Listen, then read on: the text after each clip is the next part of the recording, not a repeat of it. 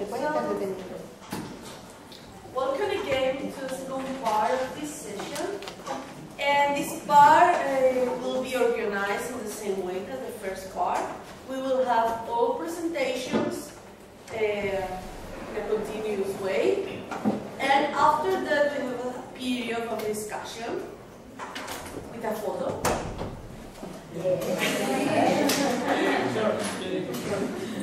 Okay, so take notes because after that we, have, we will have time to ask the different participants about their research and also about their motivation about why they carry out this research. So we will start, I bit of the, a little bit the program because Andrea have to go to another track um, in the middle of this.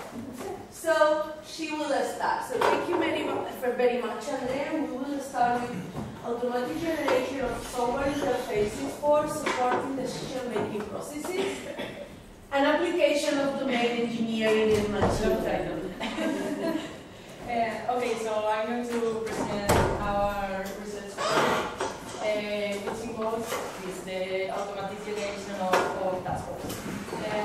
Okay, why, why focus the research on, on, on this topic? Data analysis has gained a lot of relevance over the years because it could be very useful in different sectors to support this strategic uh, decision making. But data themselves uh, have no value if you analyze uh, and of course. Because if you have uh, a lot of data but you don't use it for anything, you, you had none. So one of the most powerful software tools for generating knowledge and exploiting these, these data sets are information dashboards. What are information dashboards? Are displays composed of different visual components, uh, different charts, different resources, uh, and they present information in an understandable way. But designing these uh, is not a trivial task. Why? Uh, current studies have identified the different challenges regarding the design process of these tools, like the functional flexibility, uh, the influence of a user knowledge or literacy about searching domains, the social impact that mm, these tools could have, and also, I mean, the most important thing is that each person goal regarding the same data could differ from each other. But um, one solution could be building an individual and tailored dashboard for its user, but this uh, is uh, unfeasible because it will consume a lot of resources and a lot of time. Uh, so the main focus of, of this research project is to tackle the automatic generation of these tools in order to uh, raise the productivity regarding the development of dashboards and of course to raise the effectiveness of these tools by taking into account the users.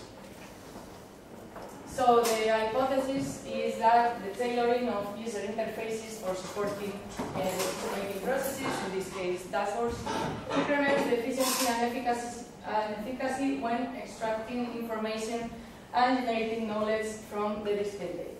So the goal of the research is to obtain a generative framework for the automatic and systematic uh, development of uh, information. The goal also involves the application of artificial intelligence, as I will describe, to provide uh, these configurations uh, automatically and to match the user needs. So the methodology used for this research project is action research methodology, which is an iterative and cyclical process. Uh, where each cycle provides the output that will be the input for the next uh, cycle. So uh, we are improving the results iteratively. In this case, two action research cycles are proposed to develop uh, this proposal for generating force and to evaluate them in real context. So we could uh, improve the, the framework uh, iteratively. In this case, the chosen framework for the development of the dashboard is an agile approach based on Scrum and uh, a mixed uh, methods methodology uh, will be employed to evaluate the dashboards with the users, uh, the technological acceptance, etc. Also, to, to contextualize the, the project, a systematic literature review is, is proposed to know different solutions uh, as solutions in the literature. Uh, this is conducted under the guidelines proposed by Kitchenham, and uh, following these guidelines, uh, the SLR is composed of three main phases, planning, conducting, and reporting, and disseminate the, the results. Also, uh, the framework uh, has a lot of theoretical uh, has a part in which the domain is studied because it is very important uh, as that's for us very, are very, uh, very complex tools. Uh, we need to know uh, the, the domain and for that we use uh, meta modeling and domain engineer in order to analyze the, the domain of dashboards uh, what are metamodels? Uh, these are like generic structures and relations uh, that can be instantiated into concrete models. So in this case, we will have a skeleton for dashboard that we could instantiate to adapt them into different models. Uh, so the current status of, of this project is, is in the development stage. As I said before, a systematic literature review has been performed to gain knowledge about this domain. In this case, uh, we, we search for uh, existing approaches and solutions that have tackled tailoring capabilities of dashboards. Uh, these were the, the different research questions. The first four questions were more focused on technical um, uh, features and the fifth question uh, was a question regarding the application of artificial intelligence into this context, and then uh, also a question regarding the evaluation of these tools with users or real data. So mm, the results of, of the SLR are published, but uh, one of the most important part was that artificial intelligence wasn't really applied uh, into this context, so we think this could be potentially uh, useful to automate this configuration of dashboard. Uh, and of course, the, uh, this gain knowledge is being used to uh, create a framework for uh, generating dashboard. Also, the meta model has been developed uh, it's composed of three main sections, the user, the layout, and the components, and each section is related to each other because the user influences the dashboard. And the whole meta model in the end describes a high-level view of, of dashboard with their common features and properties. So these are the parts. Uh, I'm not going to stop here because there is a lot of information, but we take into account different characteristics of the users, the goals that um, they want to achieve with the dashboard, uh, the different components that could be uh, with this uh, skeleton we could instantiate uh, different kinds of charts. So, uh, to conclude, the proposed research is focused on developing tailored solutions regarding decision-making processes uh, a systematic literature review has been performed to, to gain knowledge, to contextualize this, this work, and the meta model has been developed uh, high-level features and properties. The next step will employ this meta model to instant, instantiate concrete dashboards to generate the code subsequently, and we think that uh, this automatic generation could improve the effectiveness of the tools by adapting them to different user needs and different contexts. So thank you very much.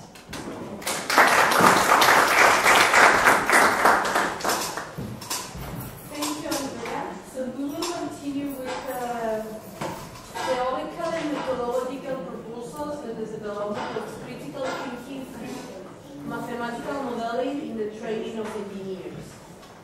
Presented by Jacqueline Acebo. Jackie, Jackie.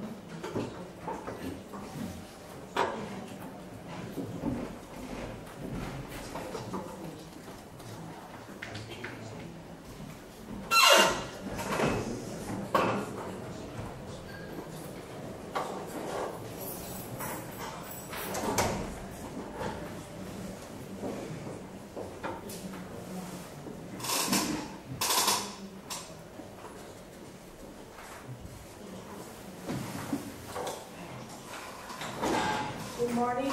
I'm Jacqueline Acebo. I'm student of uh, the PhD, uh, the Educational Innovation Program of the Tecnológico de Monterrey in Mexico.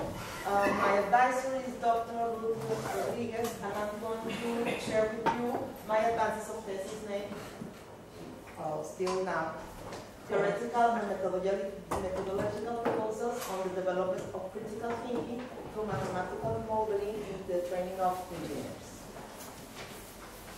Well, the context uh, is the introduction, research problem, framework, method, and final conclusion.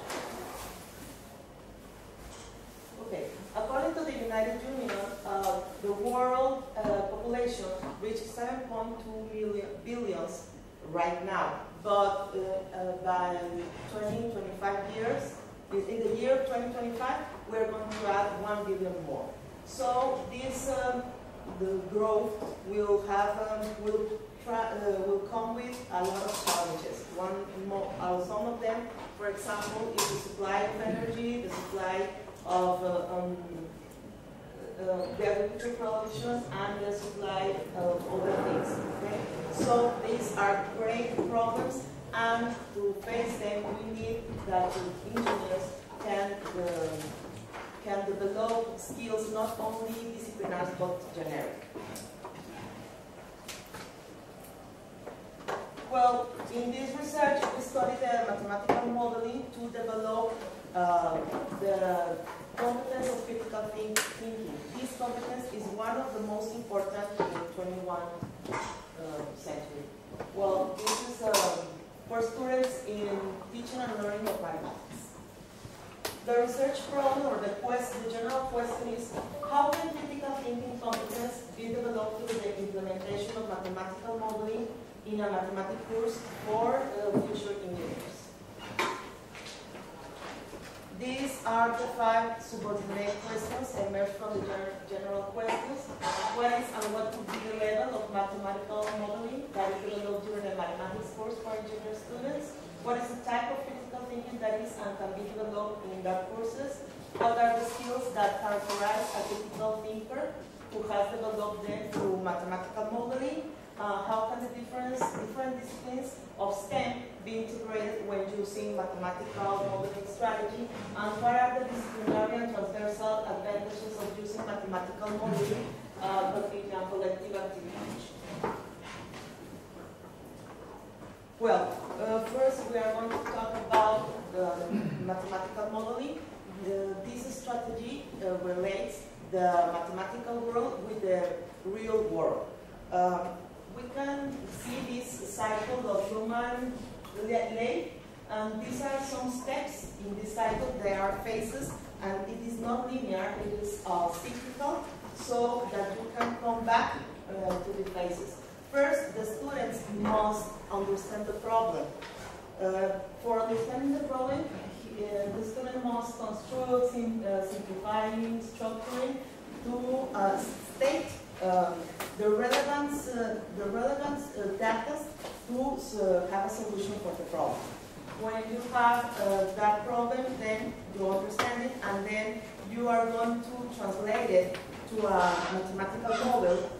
So uh, you have to make calculations and uh, use equations to look for a result.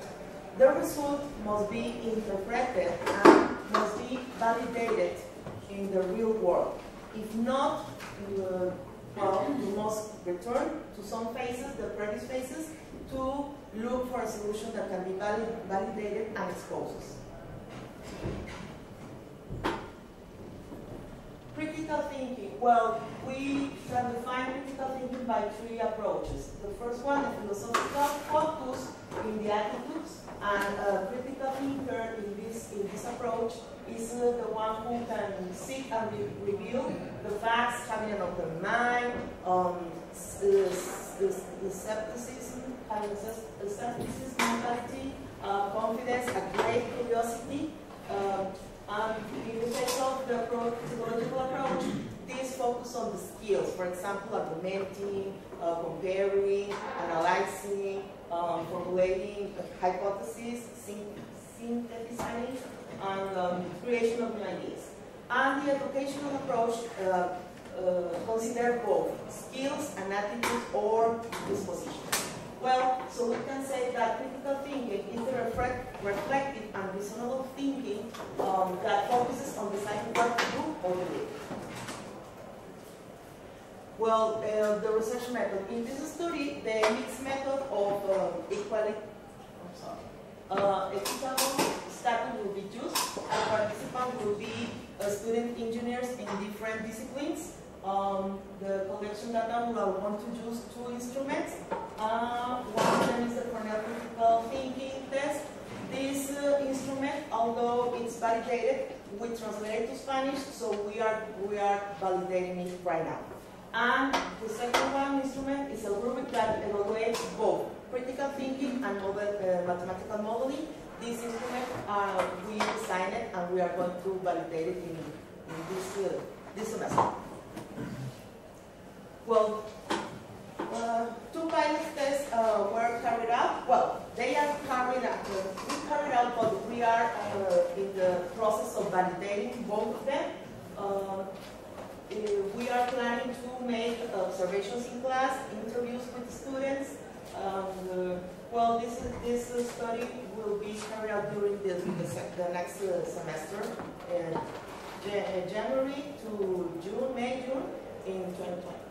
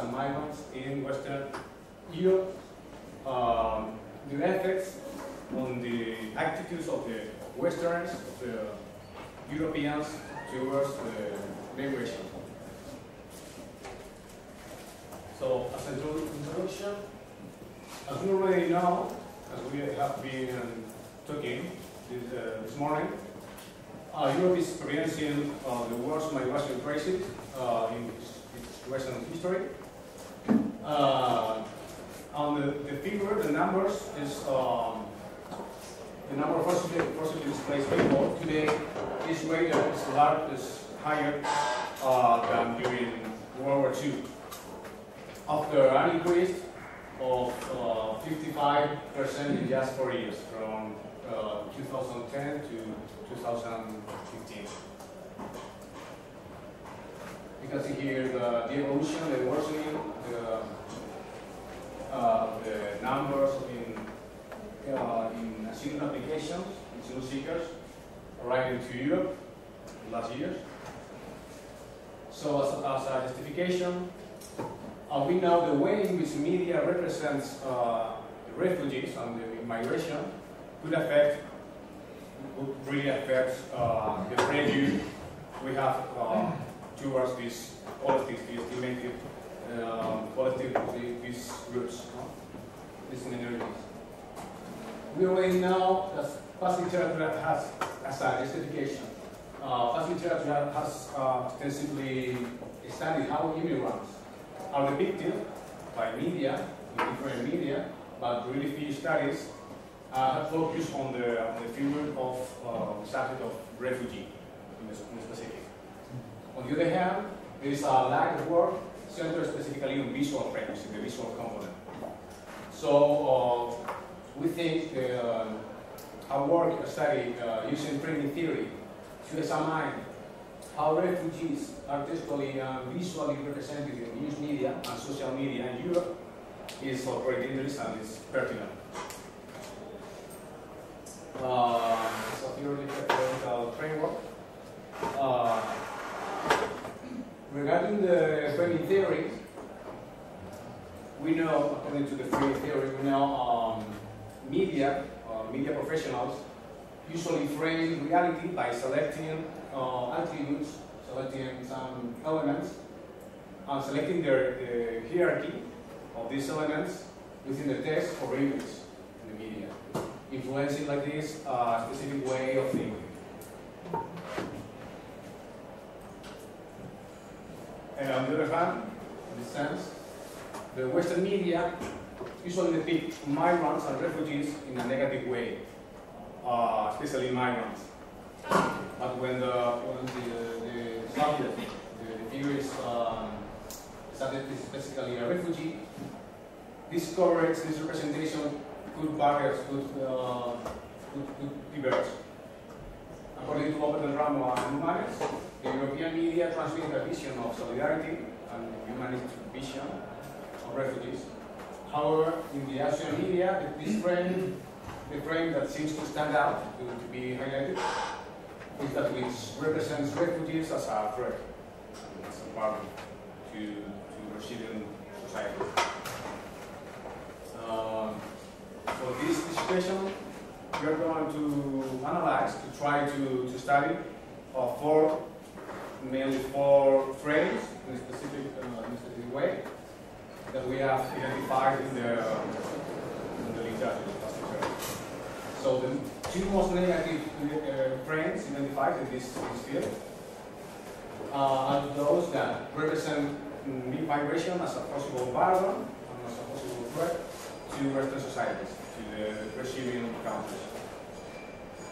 Uh, we have here uh, an example, the burden frame and the threat frame. Uh. Same.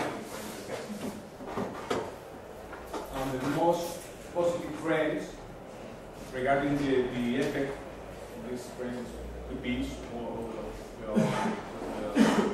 on the attitudes, westerners, and those. The, the victimization frame and the normalization frame. Here uh, example, frame and the normalization.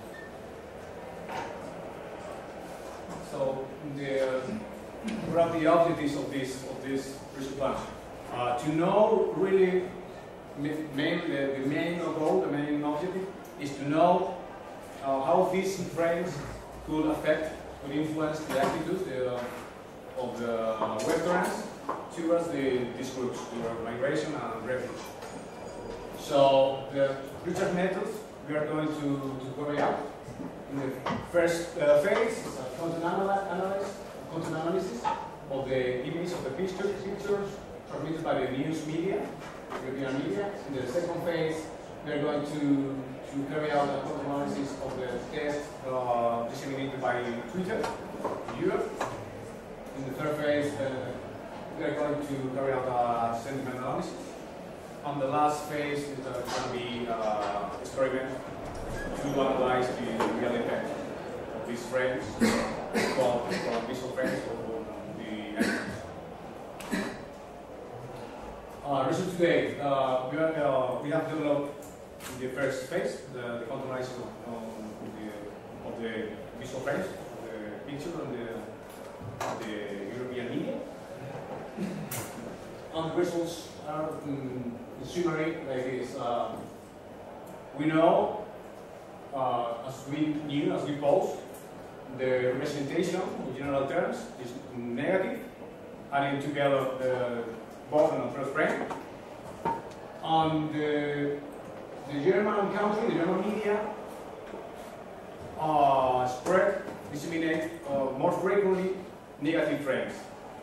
Maybe because of, uh, that's why, because, or that's because the uh, German media, German country uh, has the, um, the highest number of asylum applications in Europe. Um, in general terms, this representation is, is, more negative now in the last period, in the last stage of the migration crisis than previous uh, phases, previous phases. So um, this uh, expected to be uh, to contribute in a theoretical, in a methodological, and in a practical way, because we are providing uh, material instruments to to uh, to keep going, to keep um, advancing, improving uh, this, uh, this this kind of uh, method, the content analysis, content analysis, um, especially focused in migrate migration and refuge. And this knowledge, this empirical knowledge, uh, could be used to make advices and recommendations to for media, media professionals and policymakers. So that's all. I'll thank you for your attention.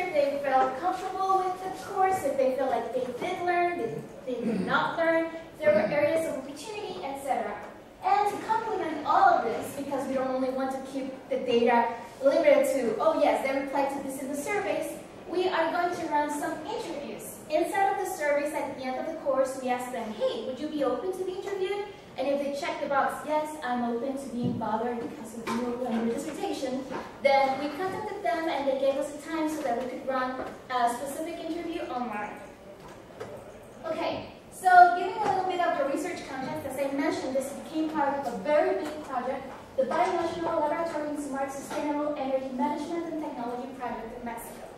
And as I did mention, this project was huge. There were 12 Mexico Penalty courses that were created. However, in regards to my dissertation, I am analyzing five of them. You can see the titles here, and as you can see, most of them have the theme of energy somehow related to it. And since the Mexican reform has been taking place, we're also making changes in the way uh, energy and sustainability works for future generations. So it was important to also include that one in the list. And what's interesting is that all of these courses had a special innovation in them. For example, one of them had elements of gamification, Another one had an element of having to use their phone so that they could see virtual reality and somehow interact with the knowledge in that way. And in another one, there was peer review, so they had to interact more with the people that were also taking the course. In other words, each one of the courses had a very specific, innovative approach to try to treat the subject regarding the Mexico Criminal course. And through the analysis, we're trying to determine did they have a better experience through gamification or peer review, or maybe virtual reality had a big impact. So that's something that we're trying to analyze through this dissertation as well. Uh, regarding the status right now, as I'm standing here in front of you, so far we have received 308 replies in the pre-post survey. That means that people that answer both pre and post. Sometimes I had the unfortunity of finding that some people only answered the pre or only answered the post, so I can do the analysis of both. But that's part of the project and that's part of learning. You just have to clean up the data and figure out what data you can use. Uh, the triangulation of the data between the users and their demographic information has also taken place already. So uh, we have been determining the age group of the people, where they are located, and what has been mostly their replies depending on their level of education as well. Uh, also, 16 interviews have been taking place. Eight of the interviews were conducted to people that actually finished the course. That means they answered the pre and post, they answered the whole MOOC, and they were willing to give their opinions. However, it was also important for us to take into consideration what the people that didn't finish the MOOC thought was important, or what made them say, I don't feel as engaged with this massive open course, and I'm just going to desert and not finish it. So we want to hear the perspective of both, those who finished and those who don't. So eight interviews were created to people that finished, eight to those that didn't, and we're going to compare their perspective and what made them be more engaged, what made them say, I don't want to finish this, and if they were more interested or not in education for sustainable development once they finished the course. And regarding statistics, uh, the surveys that were run before were on the Likert scale, and so far we're running the Mann-Whitney test for non-parametric variables right from the surveys to determine if before and after the treatment of the Mexico criminal curse, they had a positive or negative influence on how they perceive sustainable development. This, all of this project, all of these ideas are with one goal, to define the following question. What strategies can help education for sustainable development be taught in a more interactive and interesting way? But even if it's through this, even if it's through a screen, what will help people become more aware about this topic which has become very trendy worldwide. And my presentation stopped. But yeah, there we go.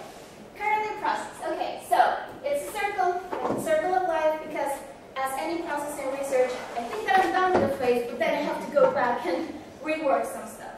But uh, so far what has been completed per se is the gathering of the data, the surveys have been answered, the courses have been run, and the interviews have been made. Right now, I'm working on the analysis and the transcription of the interviews, which are really long, around an hour, an hour 30 each interview. So that's taking a little bit of time, but I think it's worth the effort. And the goal is to finish the chapter for results and conclusions by May 2020. So that's where I'm standing right now, and I really do hope that if you're interested about the topic about education for sustainable development, we can get in touch and we can collaborate in the future. Thank you.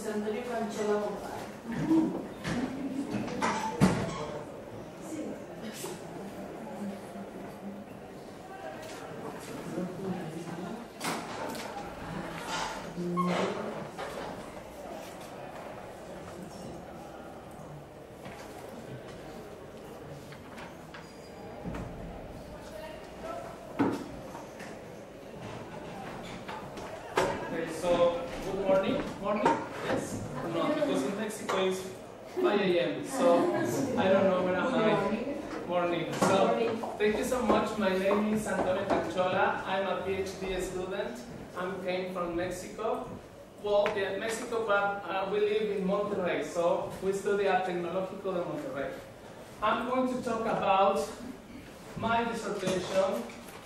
At this moment, the, the, the name, the status name is Digital Adult Literacy in Virtual Learning Environments, the case of XMOOCs in energy sustainability. My advisor is the Dr. Leonardo David Glasserman, and we have been working a lot with this, uh, with this project. So I'm going to start with my presentation. The outline is going to be like this.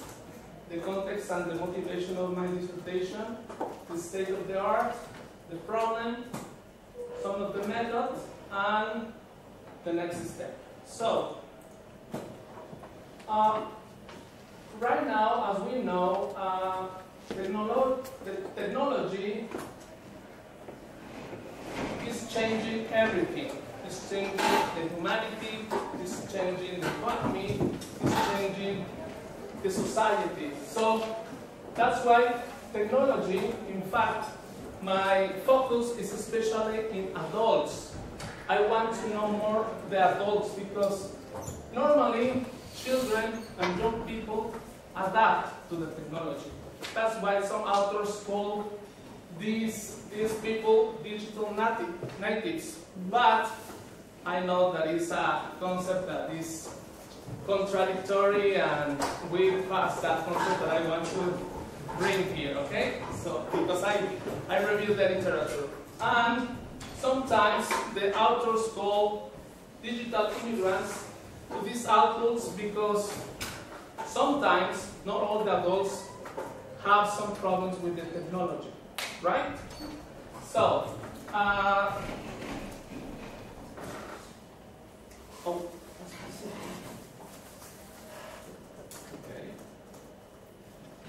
So, we, the literature says that sometimes adults can be considered a digital illiterate because they don't have the skills, the attitudes, the competence, the habits to use and apply the technology, not only to search information, because they, they need to use this technology to uh, be in this society. So my dissertation is especially in a context in a context of MOOCs. Tecnológico de Monterrey in 2016 designed and launched, as Monse said, 12 MOOCs about energy and sustainability. When I reviewed the literature and compare what is happening with adults in this context, we saw that between 1 and 5 percent of, of completion, completion rate for this MOOC so normally when we have students, as institution, we want to finish all the students, they need to finish all the courses. But in MOOCs, the range of completion, completion is between 1 and 5%. But I have to say that at Tecnológico de Monterrey, they have a average above this percentage because it's around 15 20% of completion rate. We are an exception, but in general, the completion rate is about 5 and 1 to 5%. So this is a low, this is a big problem. In general, no, no adults or young people, for everything. And especially my dissertation is going to conduct about this concept, digital literacy.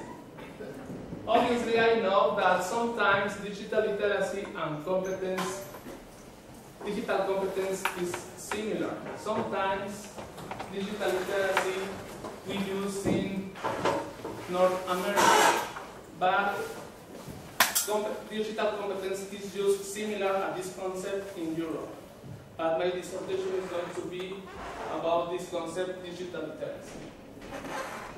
So, my question is this. How the level of digital literacy of, adults be evaluated in an XMOOC courses on energy sustainability? Why?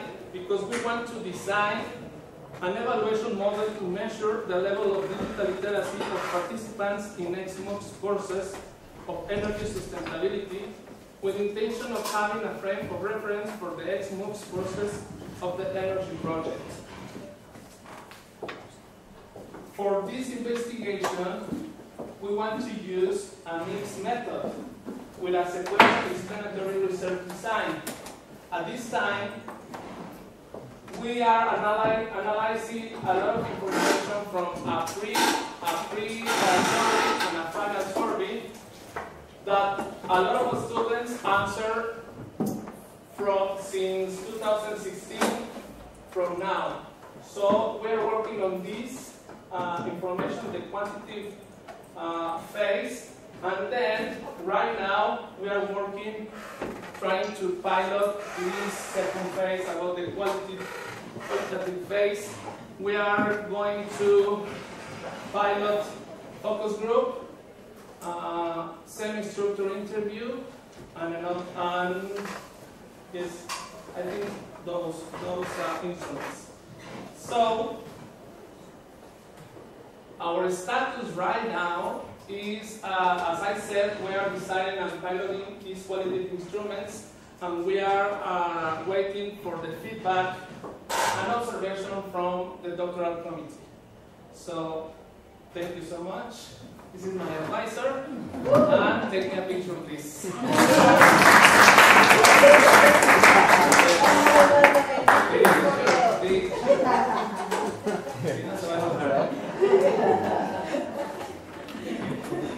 Thank you. Thank you so much. That was on time, right? Yes.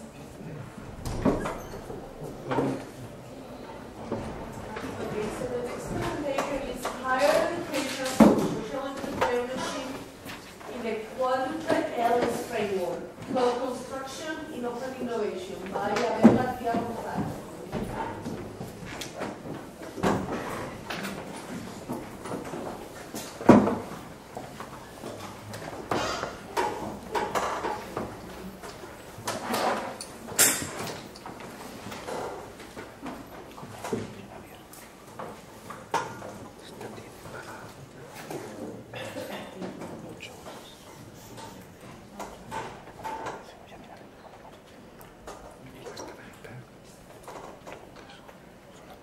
Um, okay, hello everyone. My name is Abel Garcia. I studied the PhD program in Educational Innovation at the Tecnológico de Monterrey, uh, the School of Humanities in Education. My thesis advisor is Dr. Maria Soledad Ramirez Montoya. And, okay, uh, I'm going to talk to you about my thesis project that is called Higher Education for Social Entrepreneurship Competencies in the Quadruple Helix Framework for Open Innovation. The outline of the presentation, I'm going to talk about the context and the theoretical framework, uh, the research objective, research approach, and the method, dissertation study, and current and prospective contributions.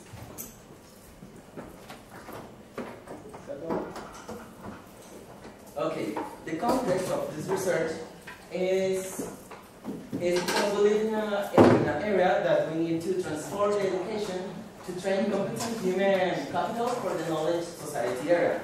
I mean, the, the university is not a, it's not a, uh, it's not to create employees.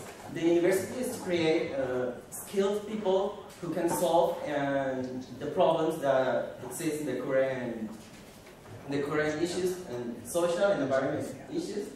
So it's not just uh, to take knowledge and to get a job, uh, so we need people who can solve a lot of problems. Because of this, uh, the education must be to develop creativity, entrepreneurship, and critical thinking in the students, no matter what they career they select. I mean, no matter if it's an engineering, if it's an educator, if it's a businessman, we need people with these abilities. And by the other hand, the university has the responsibility to impact in a positive way in the social or in the environmental to solve a lot, uh, the, the problems that we have. Then I organized the research, the research framework in three dimensions. The first one is the social entrepreneurship competencies. Why? Why is it important to develop these kind of competencies?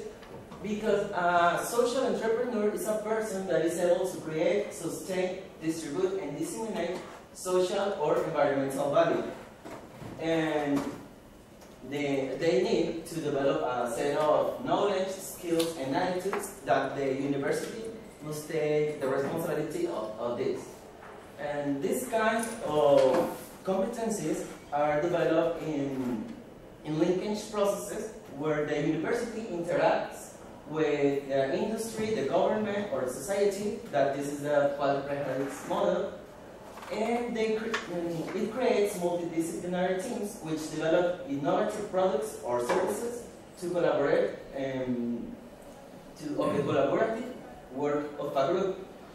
And this this model uh, creates an, an environmental learning that is called experiential learning, where the learning is constructed by knowledge, by the knowledge, value, and from the direct experience.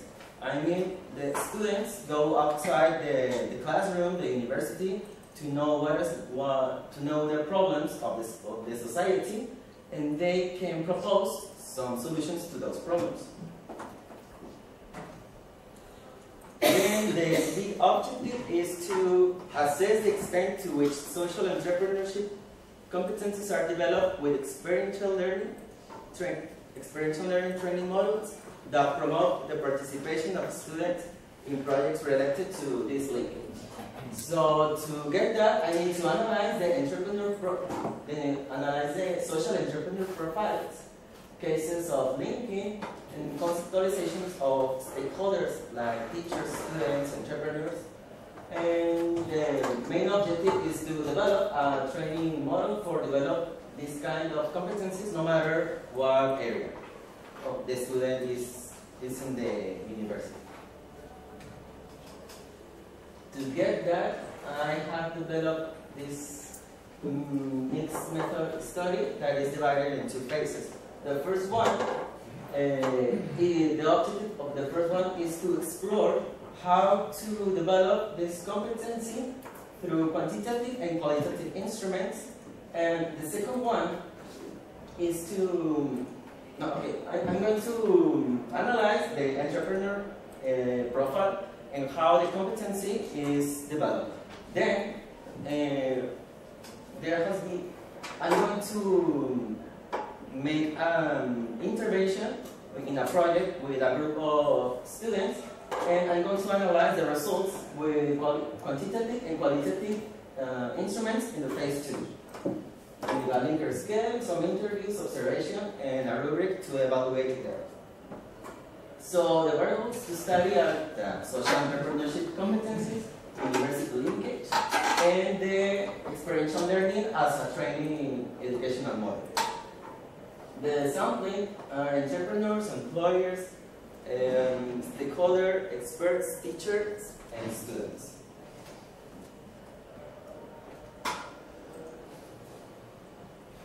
The dissertation status, well, I have developed the theoretical framework, the nature and dimension of the subject of study, and right now I'm working on the methodological proposed. And I'm, I just started to prove some instruments um, that in the team, and I'm, I'm trying to make a good uh, methodological framework to, to the research. So this is the status. And finally, the expected contributions with this research is to provide value knowledge that allows higher education institutions and others to find guidelines to develop competencies required for the 21st century society and their students, in their students. and to contribute to the field of study of education and the social entrepreneurship, entrepreneurship field. And finally, create the model to develop this kind of competencies. And I think that's all. Thank you very much for listening.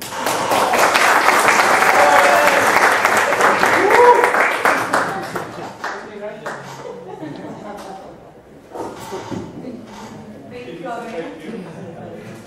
Um, Now, analysis of instruments focusing on gender gap in STEM education by Sonia Bocas.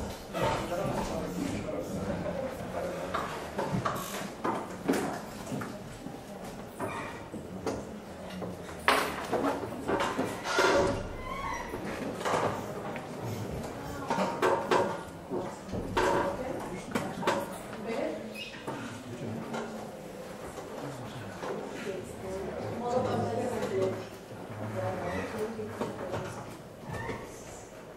Good morning, I am Señor Leo Castro. I'm a thesis director at Alberto Salvador, Maricruz Sánchez-Gómez.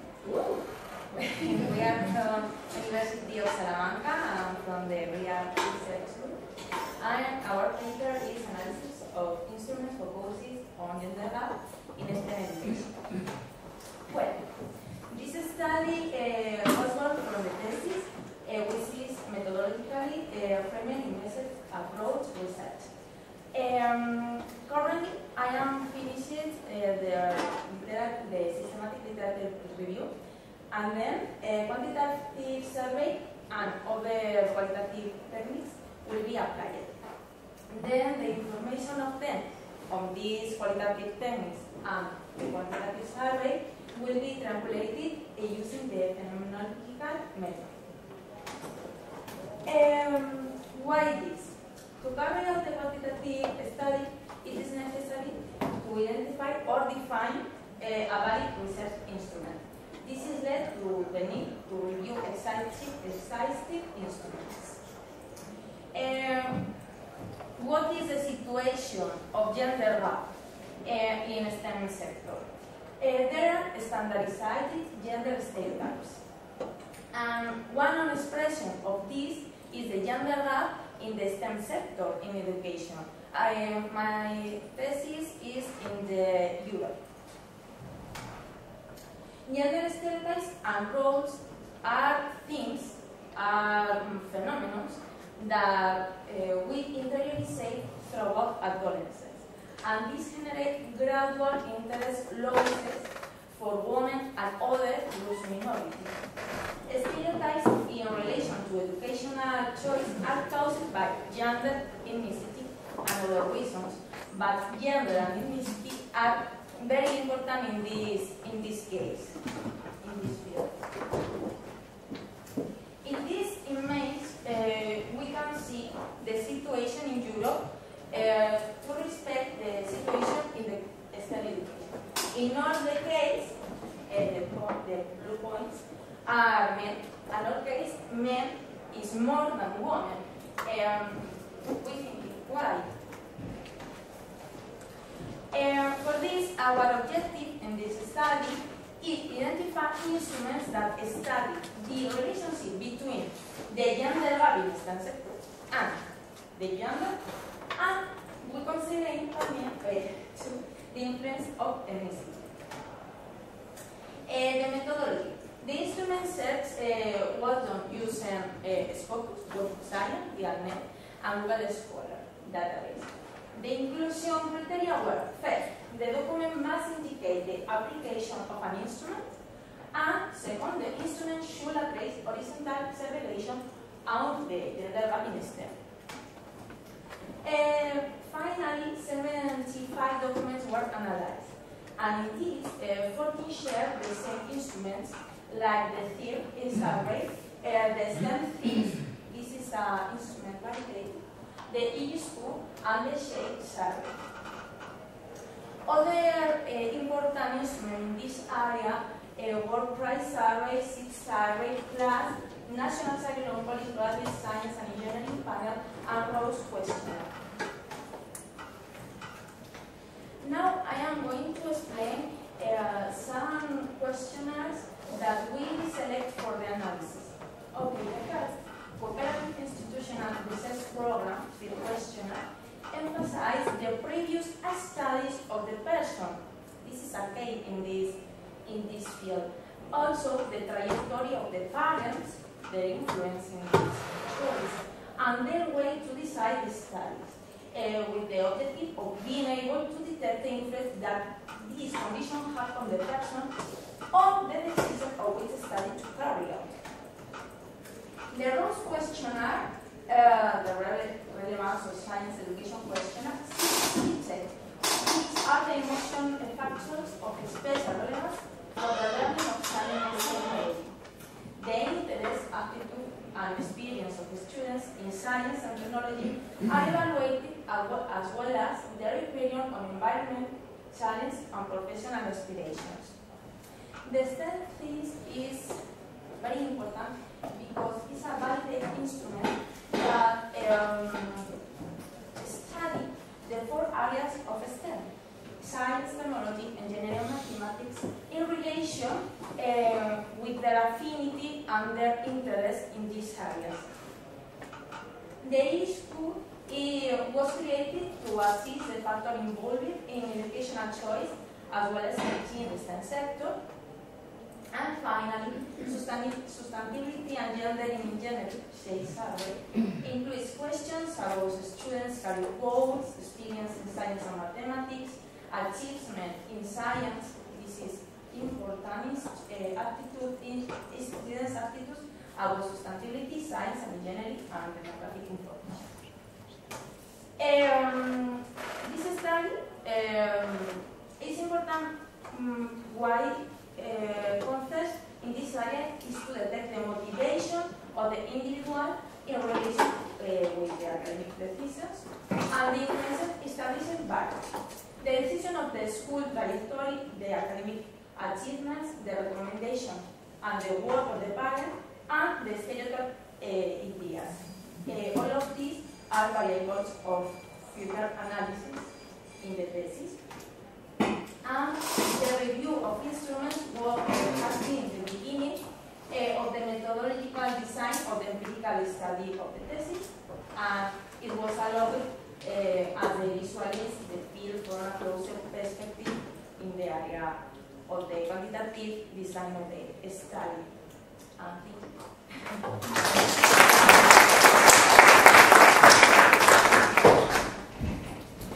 Thank you, Sonia. So,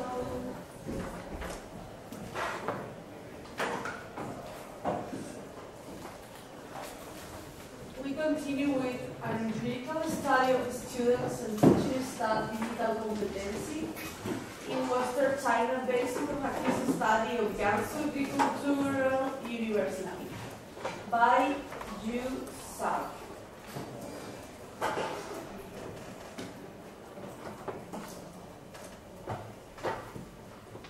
Okay, hello everyone. My name is Zhao and uh, I'm a doctoral student in the University of Salamanca. And today it's a pleasure to present my current work here. The title is An Empirical Study of Students and Teaching Staff's Digital Competence in Western China based on the case study of Gansu Agricultural University. To clear the contents, I will divide it into different sections. So the first part is the introduction. The topic uh, area that I'm investigating is the digital competence in higher education. So the objective of this research is to investigate the actual state of students and teaching staff's digital competence level uh, in the western part of China, and based on the case study of this university. The reason why I choose to investigate this topic are various. We all know that we, uh, many countries have gradually entered the uh, knowledge age from the industry times, and from 1993, uh, the internet has already evolved into Web 2.0. So when we're facing some changes in this society, for example, the digital divide, and also technological, uh, uh, technological revolutions, it is also uh, bring us opportunities and challenges at the same time for educators, which we all know that education is an essential part in the knowledge society. And China is a very uh, one of the large technology and knowledge exporting countries in the east. Uh, the, the the educational information in China is still developing, and it is on Europe, which is highlighted in the the in, in there are there are some national and there are some digital divide gap and also some gap during the countries, the different parts. And to realize the state of the art, we did a systematic review of the literature and the study of mapping. And I want to mention here especially, uh, especially that apart from the well-known uh, database, the Web of Science and Scopus, I also add the China National Knowledge Infrastructure because there are so many high-quality individual articles that was written in Chinese, but it's put in this database.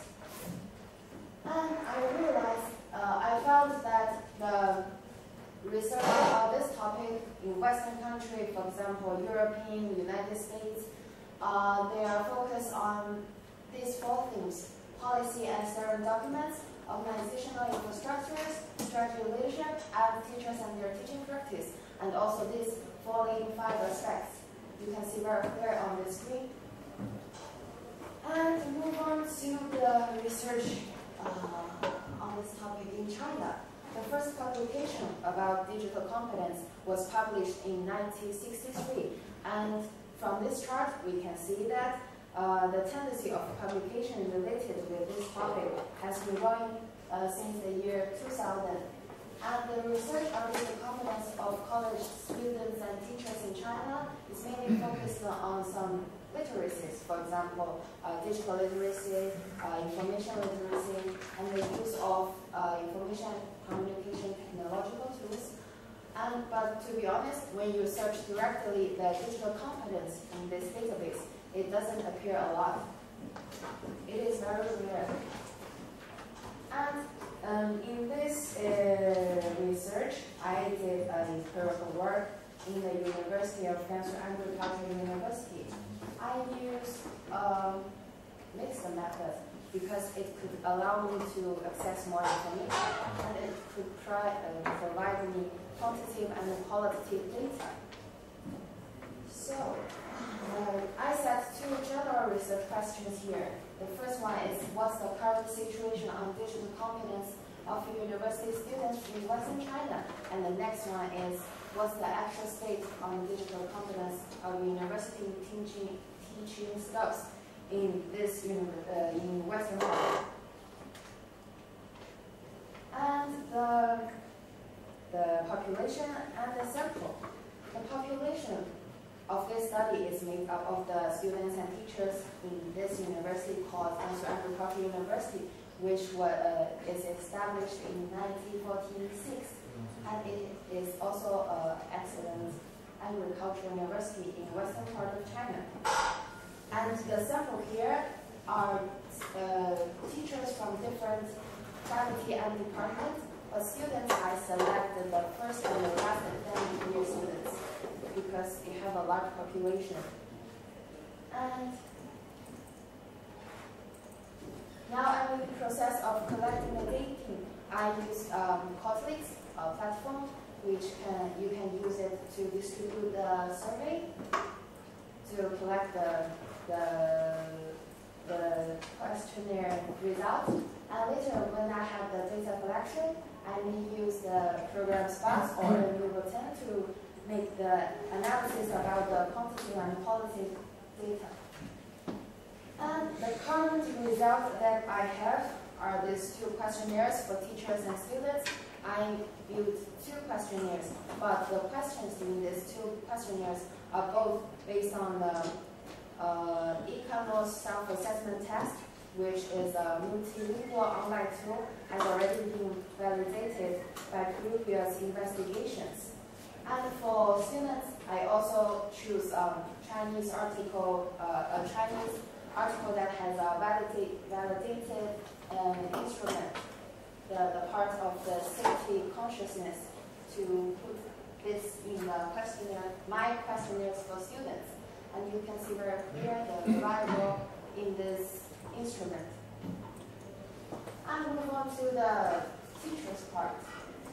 We ask them about their um, personal information, the, the, how they use the technological tools, and the level how they conduct the, the, these um, digital tools in their classroom. And I also add some uh, teachers' attitude and the difficulties when, what they are facing in using these technological tools in the classroom. And at last, I also ask for some suggestion for improvement. Okay, the dissertation status. So far, while doing the theoretical part, the empirical part has already been, set up, and I'm in the process of collecting the data. I'm using the Qualtrics again. And the current and the expected contributions.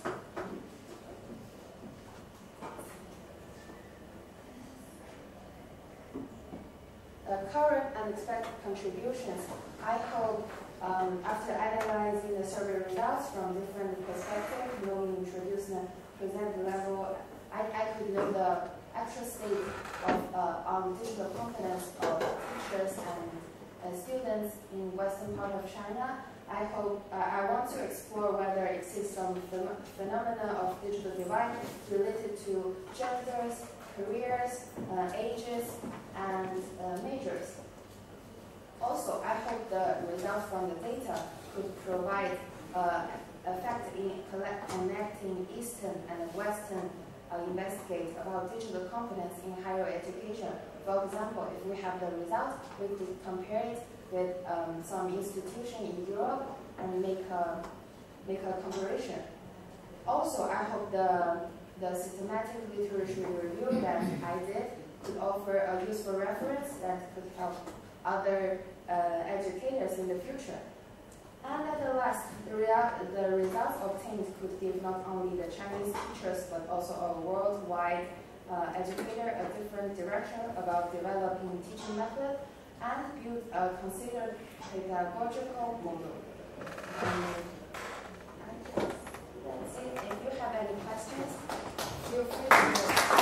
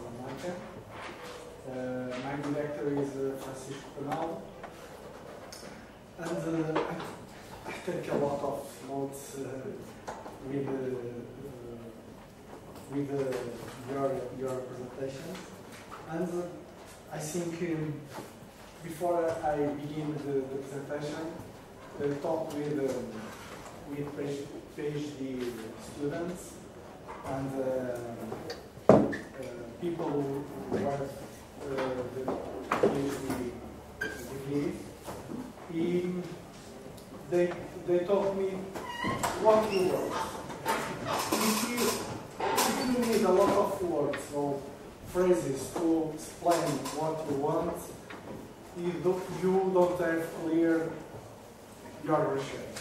It's true. I want to, to make a, a phrase. I want a tool that can improve the competence of students in programming. I, I know, I know, I'm sure if uh, at the end of the presentation you understand this. First of all, I think um, the personal data is important in the context of PhD. Uh, my family is very important and a member of Benfica too. Um, my motivation uh, is clear. Uh, most of my professional life is dedicated to programming. I like very much teach programming. Uh, I think uh, is the, the, the, best way to uh, do it the PhD. Uh, of course, improve my way of teaching and uh, help students. Um, this is uh, the state of art. everything in this area know these concepts, but programming is difficult because it's uh, different uh, of mathematics or physics and uh, is very recent of compared with maths or physics.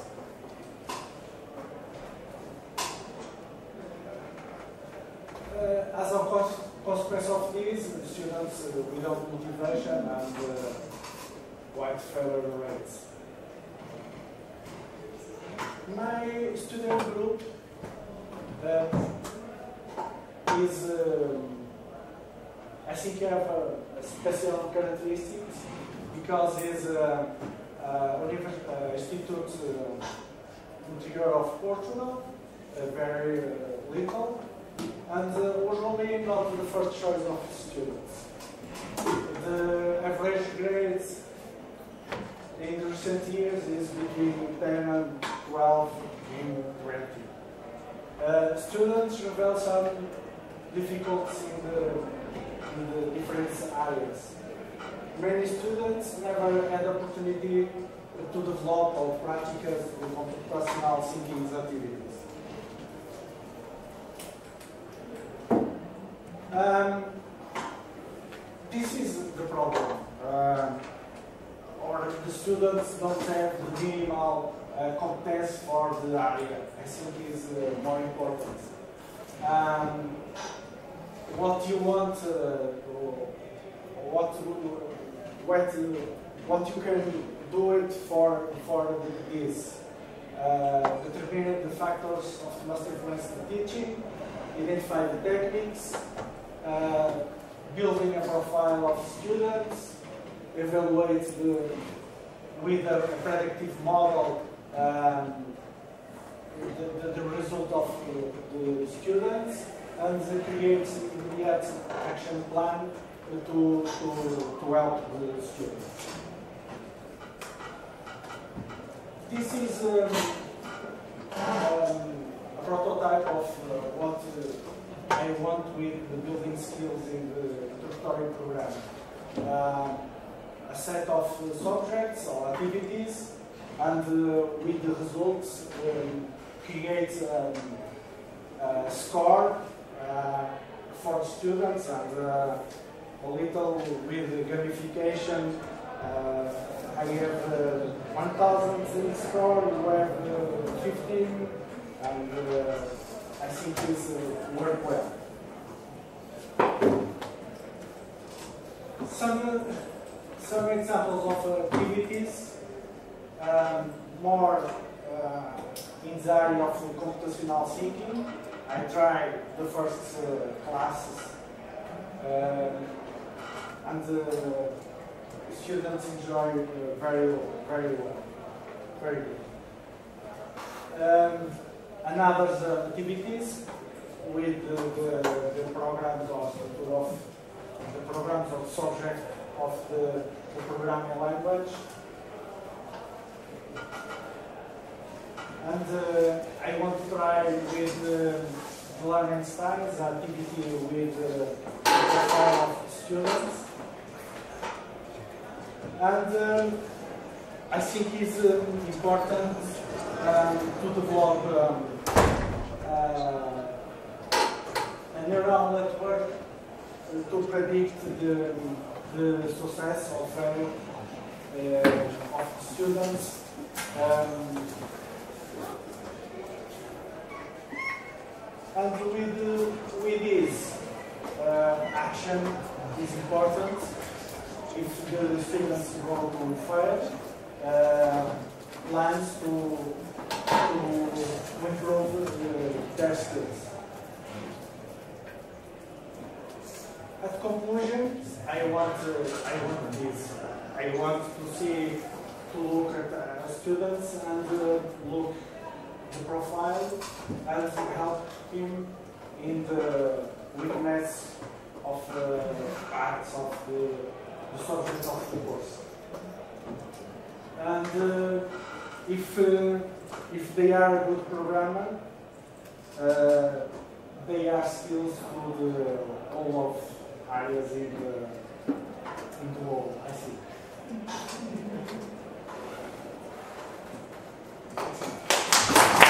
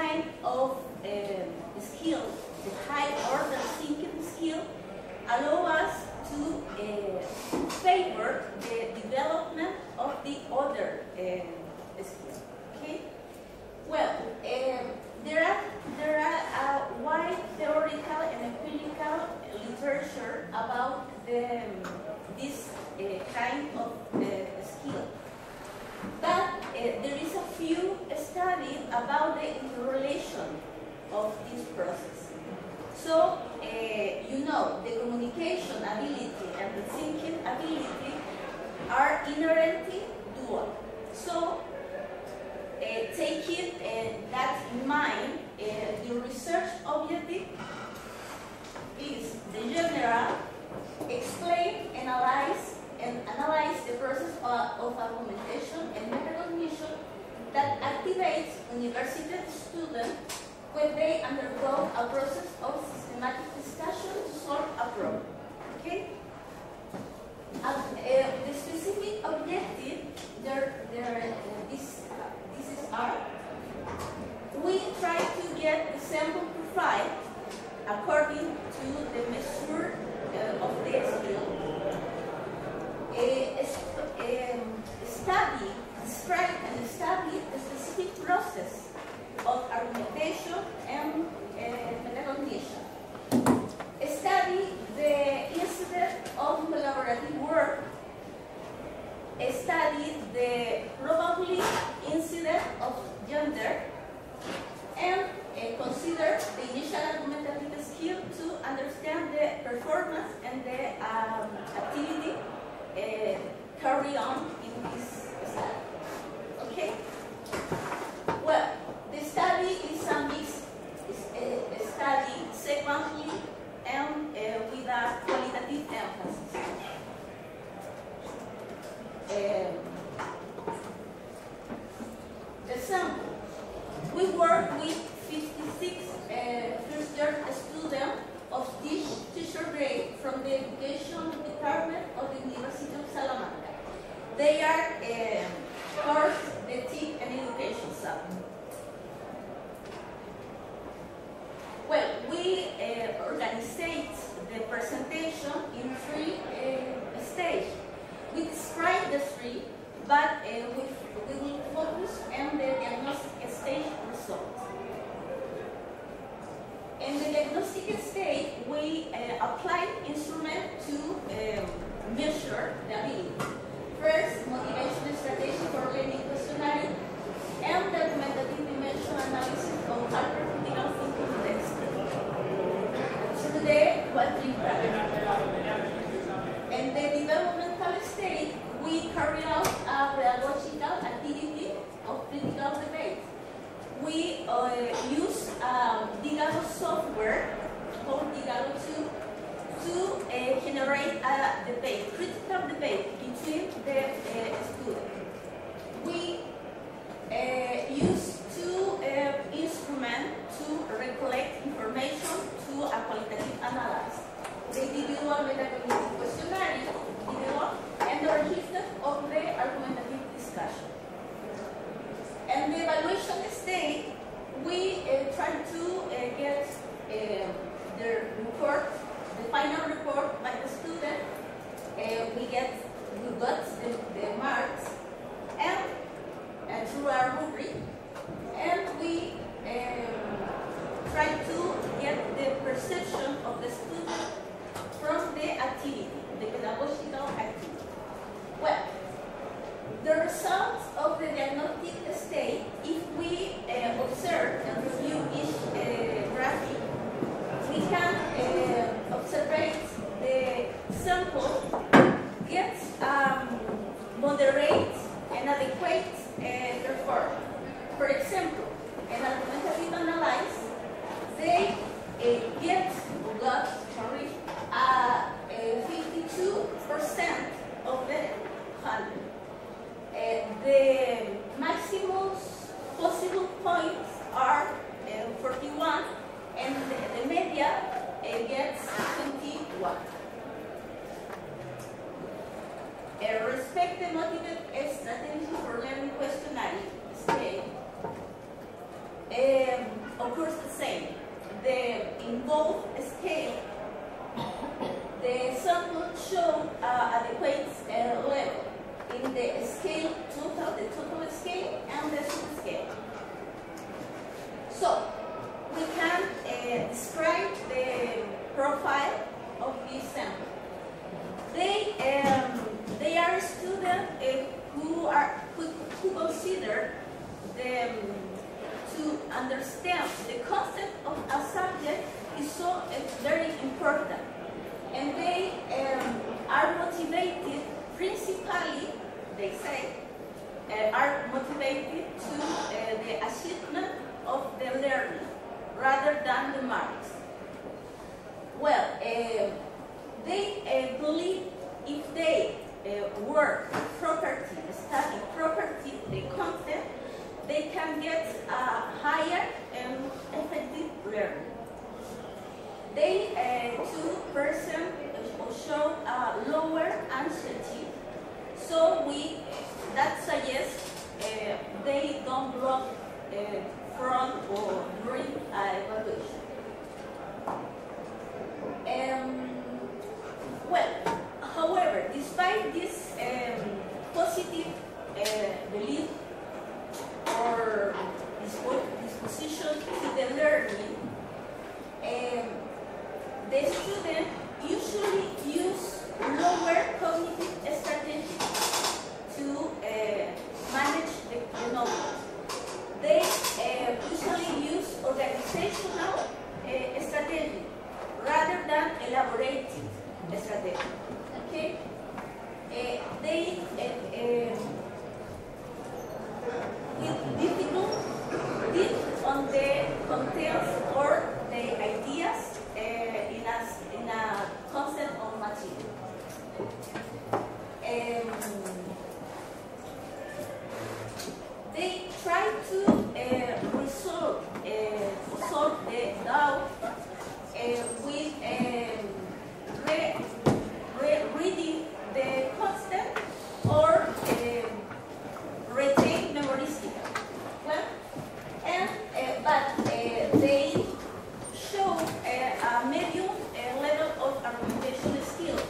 They uh, can give argumentation, reasons, and evidence, but they present difficult to evaluate other evidence or reasons they prefer to uh, individual that rather than uh, collaborative work. But they uh, look for uh, help when they need it. This average level uh, is um, expected and encouraged because they are uh, first year students. But we have to strain because they then. Eh, the the demand of the, the, the career. To be continued. Thank you for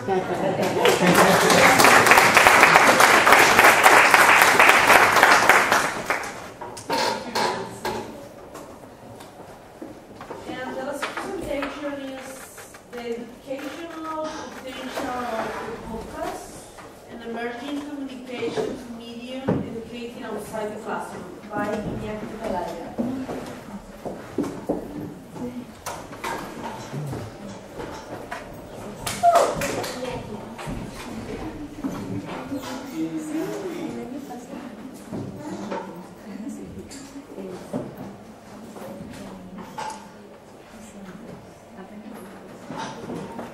Hello, good morning.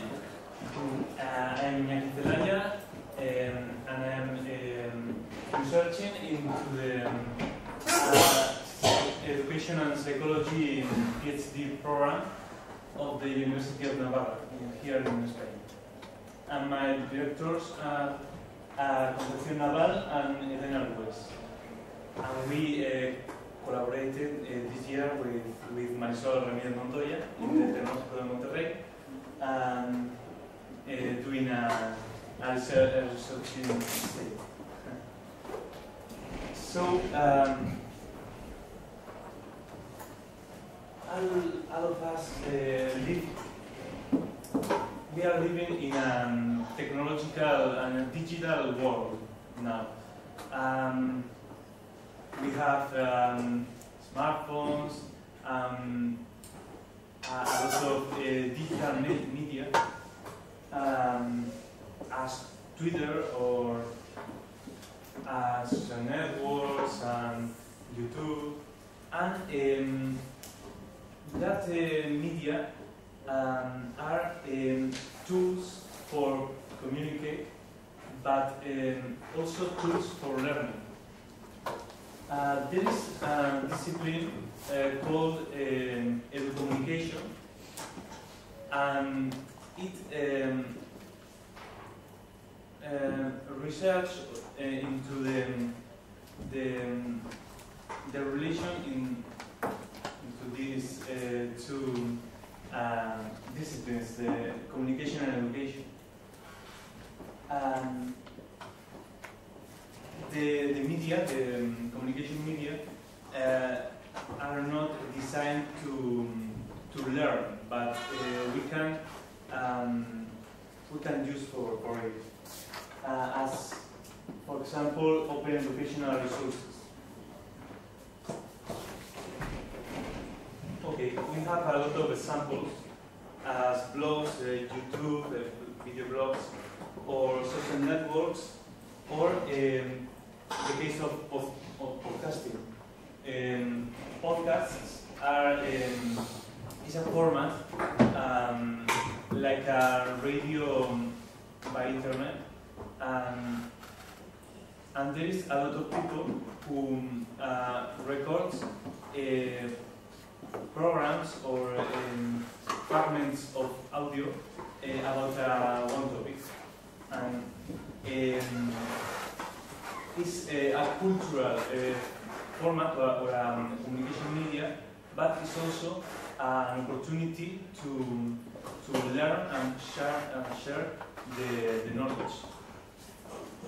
Um, so uh, a podcast is a program, but it's also a community, and for me, it's also um, an educational uh, community.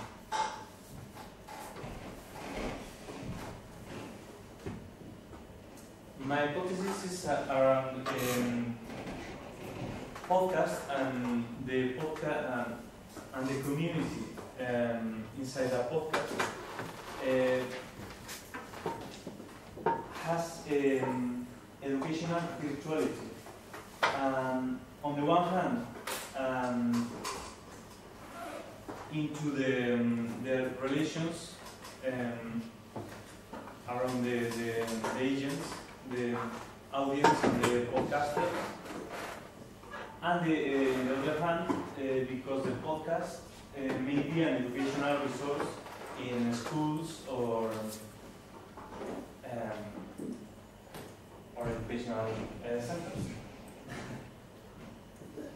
so uh, we have um, many uh, goals for, for good research.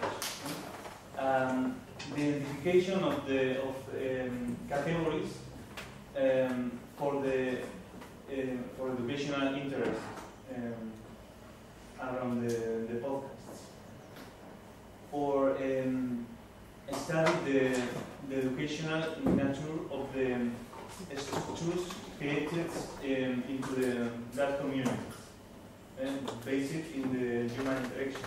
interactions. And um, the, uh, create a theory of um, educational podcasting, no? Um, because it's um, it's a new topic. Um, there is not um, a lot of uh, research about it. okay, so uh, this is um, a qualitative um, research uh, with technological um, approach.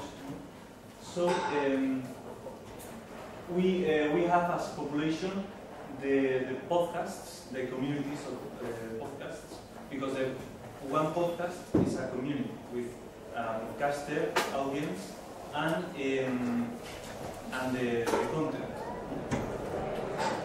Yes, so um, we are going to uh, research some uh, aspects of uh, podcasts.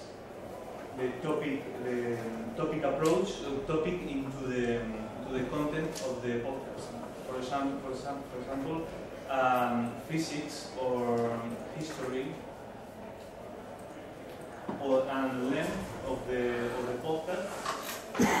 the podcast format um, in terms of uh, an interview or a monologue, chat, uh, the communication style, the um, prosodic elements, and the, um, the register of the communication. Uh, the level of the content specialization. Um, there are uh, podcasts very, um, very hard or, or deep into the, into the, to the topics and into the content, and other more friendly. Um, the relationship uh, with the audience and uh, the transmedia, uh, transmedia digital channels um, around the, the, the globe. There are um, there are chats in, in social networks about um, about the the contents of the of the podcast, and that um, that channels the audience uh, speak about the about. So um, in one community of podcasts, um, we have uh, the the podcasters, the the authors of the of the podcasts. Uh, we have the audience and the and that channels that I mentioned. Um, and we are going to use uh, some um, qualitative instruments to to research this. Um, we have the um, the paradigm of the method of case studies to because uh, one podcast could be a case study. Um, the, uh, we have qualitative interviews to, to research uh, podcasters of the audience, okay, and content analysis to research the, the content of the of the podcast, the topic, the history, physics, the, okay, and uh, we have virtual ethnography to research um, the, the channels, transmedia channels uh, related with the, with the content. Okay, uh, this is all, and thank you very much.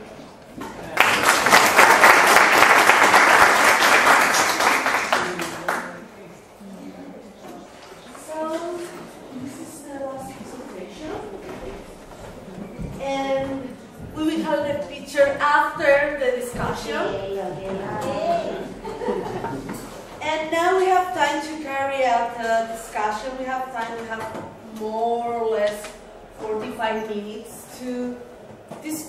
about the different topics presented during this morning. It's not mandatory to um, announce questions about the presentation of the second part. You can also um, ask about the presentations in the first part of the day. Although some of you uh, didn't wa- uh, wasn't there. So, some question for the presentation of this morning? Yes? Yes.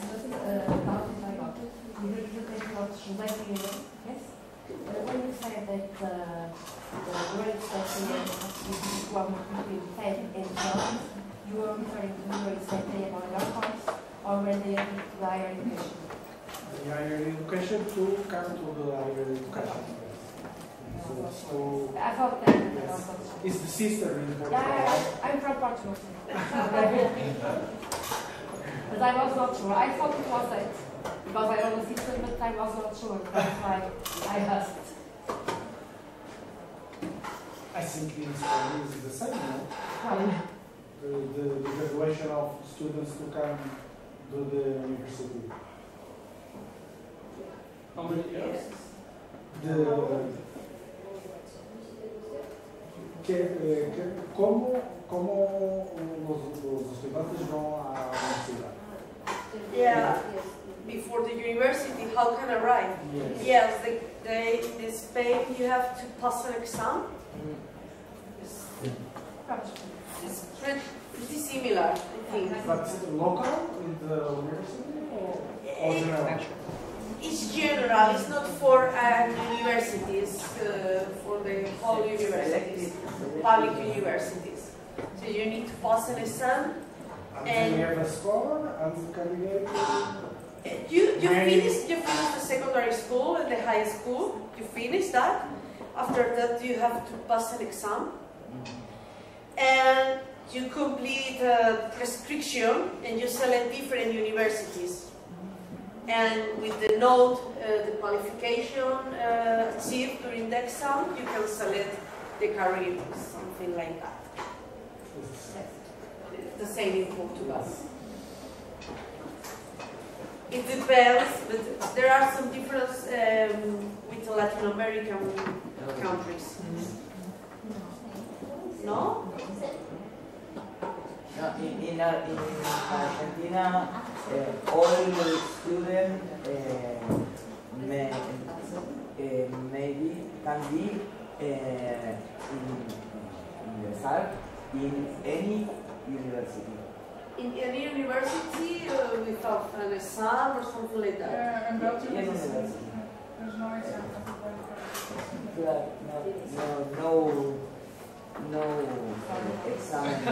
no, no it's test, perfect, perfect. no test and no score. No marks. No score. No score. Yes. And the public uh, higher education is free. Totally free. Totally free. In Spain and in Portugal, not. In Spain and in Portugal, it's not so expensive like a private university, but it's not free. Mm-hmm. And it can be expensive for lots of families. Yes. Because of the situation. So, uh, More questions? I have a specific question for Javier. We talked about the refugees and immigrants in Western Europe. Mm-hmm. Uh, so it was very interesting. Thank you for sharing. What I wanted to ask you was if you could share a little bit more regarding the sentiment analysis that you mentioned that would take place, because I think that it's a concept that at least myself hadn't seen or heard of. So if you could share a little bit about that, I would appreciate it. Well, I don't really know currently anything because uh, we we are expected we expect to, to carry out in the third phase.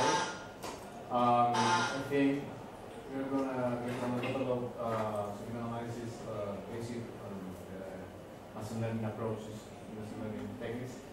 Uh, maybe training a corpus with uh, four frames we have detected, we have identified in the literature. Um, we, we, we will try to compare the sentiment with the, with the representation, with the frames. Also, uh, well, uh, we're gonna develop, we're gonna carry out uh, first uh, computational content analysis with four and later, after this, the sentiment analysis with just uh, positive and negative uh, just two theories, and one neutral, to identify. You know, um, after this, compare the frames with the sentiment. And sentiment will be expressed through words. Yeah, um, you want to try to detect, uh, to, to identify the sentiment, uh, the sentiment to the, to, or through, in front of the refugees, in front of the, the, um, the migration. But it's really difficult because, you know, there's a lot of ironic, ironic message, ironic tweets. So it's gonna be difficult, but we're gonna try. If I can give a suggestion something that I was just thinking, since it's hard to, as you mentioned, sometimes there are ironic or sarcastic tweets out there, but if you could have some people help you out so that you can just show them and then they can categorize, like, this is ironic, this was sarcastic, and then you can compare, like, most of the people thought that this was sarcastic, so we're taking that approach or something of the sort, kind of like reiterate through the analysis of people that have no bias. Maybe that could help out a little bit. It's just an idea. Yeah, it's a good triangulation of what you perceive and others see.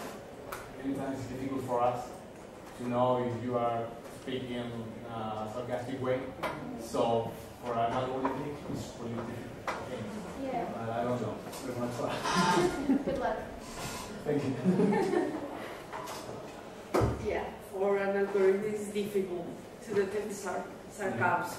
I mean, maybe there is a way, and you can provide that as a result of your PhD. I have a question also for you, uh, Javier, because because you talk about uh, that you has carried out the analysis of uh, images, how how did you select these images? ¿Cómo seleccionaste estas imágenes? Uh, we selected uh, 500 pictures, we have uh, 500 image, image photographs from uh, five, from 10 media from five countries, Western Europe, Europe country, uh, from France, Germany, uh, Spain, and Italy. We thought uh, these countries uh, were the most representative of the Western culture, and they are uh, worried about this conflict. And the picture had to be applied to Google. So the select the selection was from, by Google News. By Google News. From 10 sources from Yeah. each country or in From total? five countries. Ten media, ten sources in five countries. Um, from, uh, by Google News with keywords, refuge, refugee, migration, migrant in the five languages of the France, Yeah. Italy, uh, refugiato, uh, Okay, because one of the most difficult part, I think, is select the, collect the data to analyze. was a manual selection. That's, that's Manual. Uh, yeah, manual selection. Just Okay, looking for okay. the keywords Google Okay, man, because you can carry out an, you can programming, you can carry out the spider in order to collect the. Yeah, I know. No, no, okay. More questions? I have a question for Iñaki. Iñaki, uh, I have a question for you because uh, when you mentioned that you are going to take in consideration this technique, virtual ethnography, I would like I would like to ask you if there is enough information about this technique because well we know ethnography as a as a big uh, tool for investigation, but what about virtual ethnography? Is there enough information? Is a new technique? Because well, for me, it's like a, what? Ah, yes, uh, it's a very big framework to, research, but um, yes, you can. Um, it's like ethnography, but in the virtual world, and um, you can um, you can use um, a lot of um, little tools into the Explícalo en español, si no. Sí, sí, no. Vamos a ver. Sí, o sea que o sea, hay muchísimas herramientas ¿no? cualitativas que eh, cabrían dentro de, de la etnografía virtual. ¿no? O sea, al final es eh, pues eso, recoger esas huellas que van dejando la gente en, en los medios digitales, pues que ya están ahí, son productos. Entonces uno pues puede eh, leer los textos, puede interpretarlos, puede pues, pues, ahí cabe el análisis de contenido, cabe la, pues eso, la el análisis más cultural, las conversaciones, el, pues codificar y puedes, eh, puedes ver las categorías que emergen ahí, pues cómo las ordenas, para, para ver la interacción que hay dentro de ese, de mundo digital. ¿no? Hay un libro eh, muy interesante de Haim, que es como un clásico eh, de etnografía virtual, y ahora se está poniendo muy de moda como otro movimiento que tiene mucho que ver, que es el de la etnografía que se usa mucho, pues, por ejemplo, en Twitter, eh, por, por ejemplo, un, eh, del Fresno, eh, un, un autor de la UNED que está especializado en, en encontrar, eh, sí, pues, eh, cómo, em, digamos, se habla de, un- de una cierta marca o de una cierta idea en, Twitter y entonces pues, va sacando las opiniones de la gente y va, y va haciendo pues, unos diagramas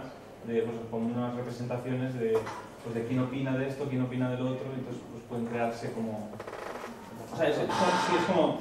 Pues, eso, eh, Internet es una gran madeja de hilo, ¿no? entonces pues, uno tiene que ir tirando de por aquí y por allá, y entonces va creando un, un modelo de lo que se quiere decir o de lo que va encontrando. ¿no? Es muy, muy pues, etnográfico, muy, muy bueno. ¿no? So you will be something like visualize, visual, visualization of the information that you will collect in order to carry out the analysis.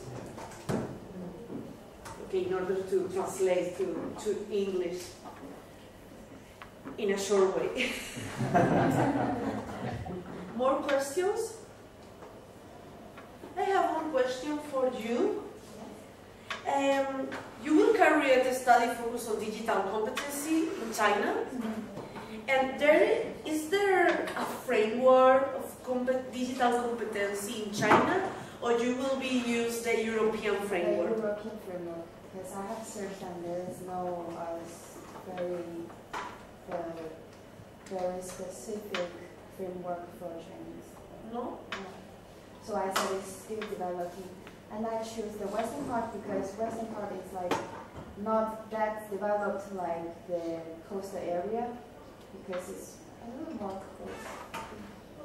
So I use the European framework. Okay. Because uh, I don't know if you know that the digital competency is different definition depending on your region. So in Europe, we have a framework, but we, when you talk about digital competency in USA, it's, it's, it's similar, but it's not exactly the same. And when you talk about this in Latin America, also it's different. Yeah, and Asia is so different also. So I think in Asia there's not a very specific framework also. So maybe this research in the future could provide some advice for investigators who want to use a special framework for Asia. I think we can share some in common because we have a, a tricky concept. Because digital, uh, digital competence and digital literacy is almost the same, but it's not the same. It's not the same. And now it's like a new literacies. So this is like a, a big maleta, diría Iñaki, I don't know how you say it in English.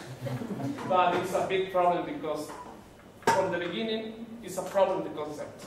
Depending the authors, depending the continent, and that's the situation that we have the opportunity to uh, design a model, maybe for a, a region, maybe for a continent, so we're working on that. So we will share that information. Yes, but when you talk about digital literacy, you talk about the process to achieve the digital competency and other competencies. Yeah, because there is a different author that is not the same definition, talking about the same concept, you know, it's, it's, it's complex, it's special about the concept, especially for this digital and competence. So that's, we have the problem from the beginning. And when I search the digital competence and digital literacy in Chinese article, I don't know it's a problem of translation Yeah, or something. I always find that digital literacy uh-huh. more than digital Yeah. competence.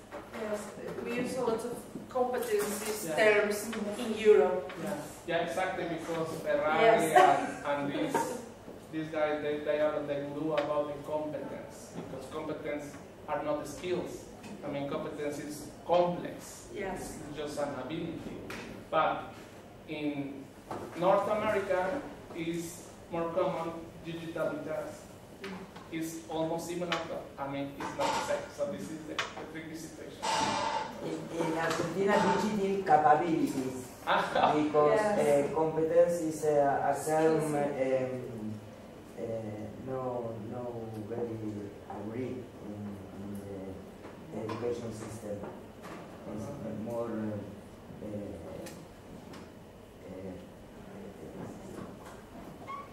rela, rela, relacionated with the economy system. Okay. Uh, another term, digital capabilities. Because here in Spain it's very common to use competencias. Yeah. It's not common. You, you, Yeah. you define the programs in the university using competencies. Uh-huh. So your, your courses are based on achieve some competencies. Eh, en, en Argentina, perfil de egresado y, y capacidades. Sí, capaci- capabilities uh, Claro, should be capabilities, similar to yes. competencies in But it's not the same. Not, not the same. Yeah, that's the situation. I mean, the, the language is Because in, in, in Argentina, uh, if, if you we use competences, mm, What is that? That's our life. more questions. From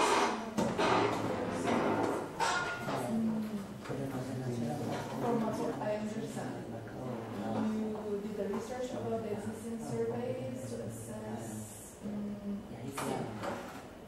To assess Yes. Um, if you are searching instruments to uh, identify, to, to assess, yes, to assess STEM, STEM, science, technology, engineering, mathematics.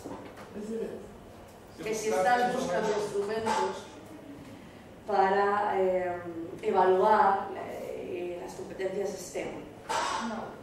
Uh, I am uh, searching instrument for analyze the, the perception and stereotypes, set the stereotypes of the students of Europe about the STEM sector. Their perception. Uh, in relation with uh, the gender. Both genders. Yes. Okay. Both genders, all of them. But I don't, I don't want analyze the competencies. Uh, I want to analyze the perception. The opinion. The opinion, the. Because um, there is uh, gender gap, and I want to know why there is a gender gap. Sonia want to know that they um, they want to have some proofs about the cultural uh, influences and the cultural context and the socioeconomic background influence deeply in the in the students in order to continue their careers uh, related to science, technology, engineering, and mathematics. So it's it's general. Um, I mean, you're going to see um, what the, their opinion is about STEAM. Yes, about STEAM. Uh, um, there is true uh, a gender gap in other sectors, uh, like education, uh, but I focus in the STEM mm, because the gender gap is more, more bigger. Because mm, I'm working on mm, to see if mm, I'm working on computational thinking, and I'm looking forward to see if mm, teaching computational thinking could help girls to have more to, to be more confident about their technological skills. So mm, Yes, um, there, uh, there are um, several studies about the uh, auto- Autoefficacy. Autoefficacy in, in the competencies and learning competencies, and there is a cause, a reason to the shows uh, this uh, this study or the studies. It's a very good. That's right. Uh, the, mm, from what I learned, for example, the Lego mm, toy, Legos, to, to build uh, houses and whatever. Well, this normally this toy is mm, more addressed to male, to boys. So later they discovered that in the university, mm, especially in in the industry, uh, industrial engineering, engineering, yeah, the girls have some problems visualizing the things. Why? Because they didn't have the opportun- opportunity to mm, to, to play with the Legos. So mm, a girl, an engineer, uh, decided to invent, yeah, to invent uh, a toy, Lego toy for girls. So to para fomentar essa habilidade. Maybe my question is a little stupid, but I'm, I'm really surprised about the gender gap that you are talking about. I was in your church yesterday, which I found very, very interesting, but I was surprised. I was not aware. I, I knew that, of course, girls and boys are different, men and women are different, but I was not aware that that difference was so uh, important in defining the careers. I was really surprised. I thought it was more about the context, the, the social problems, or economic or cultural, and not really the gender.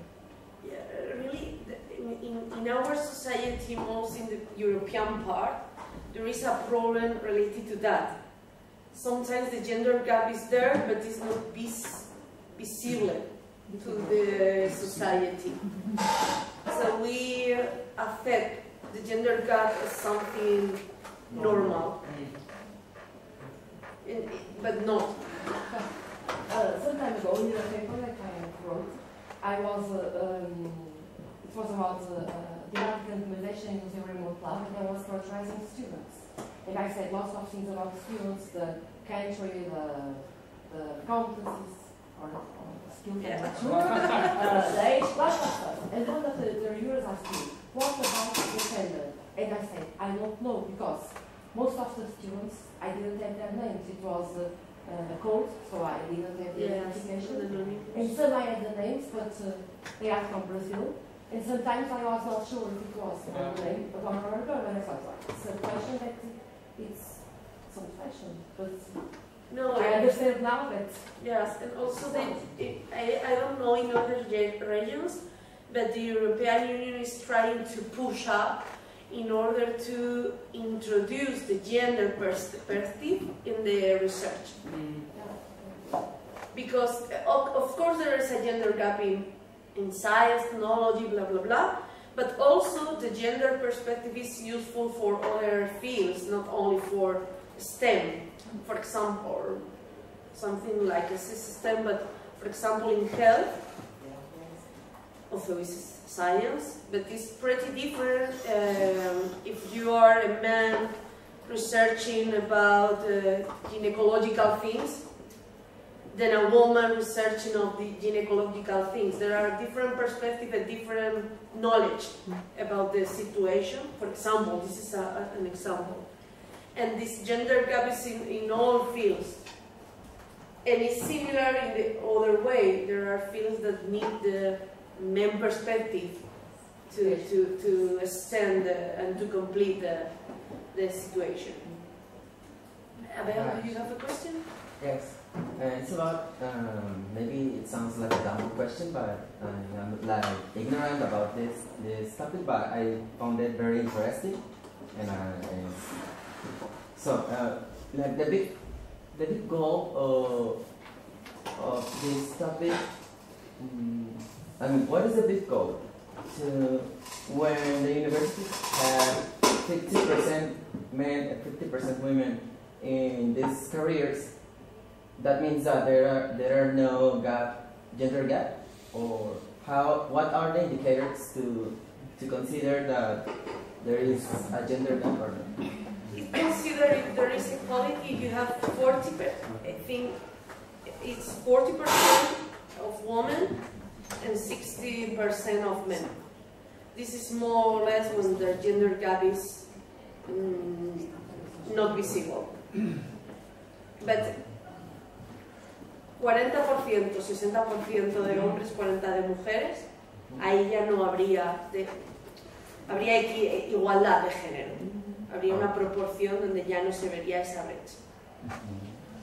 Y, eso es un, una norma, un acuerdo, un patrón. Sí, in English, in English. Ah, perdón. The percentage depends on the uh, enrolled people. Es, eso es lo que people is 80, 20, for example, the, the final graduates, uh, graduates people must be 80, 20.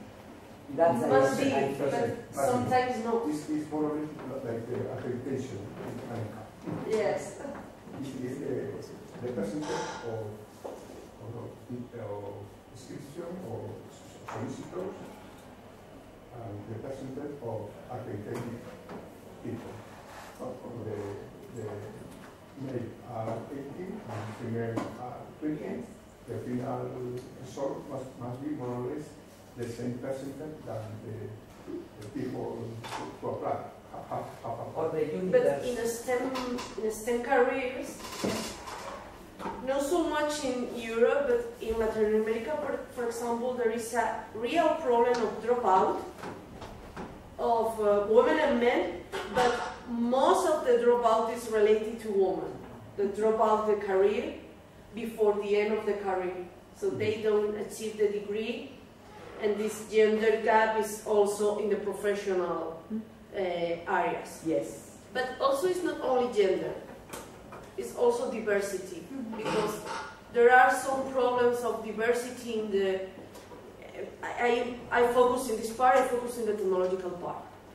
Mm, In the technological companies there are a problem of diversity, and diversity is you can only find a man, heterosexual, white, uh, um, North, in, uh, the, in the specific Yes. parts uh, uh, we, uh, So live.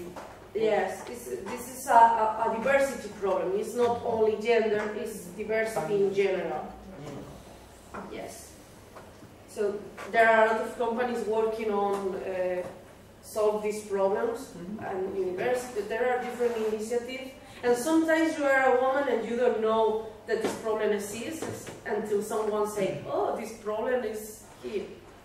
It's, it's, it's, normal uh, also. in any university, the index of, of uh, women index uh, of graduated is uh, more than the mine. Yeah, because the um, employability is more than the men than the women.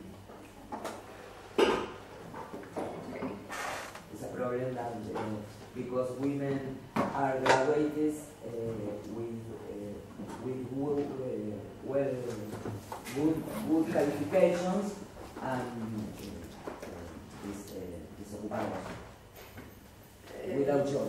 Without job. Yes. It's a, it's, a, it's a complex problem. It's not only. It's a complex problem. It's so complex, like trying to use computational thinking to to to reduce the gender gap. It's, it's a lot of. This is a, a, a research, and you need to combine with another research in order to try to solve the problem because there are so many factors, also cultural and uh, socioeconomic factors in, in, in, the, in the different societies. So the problem is in the whole world, but it's so different from each, from each country, also from each region inside each country to the different countries.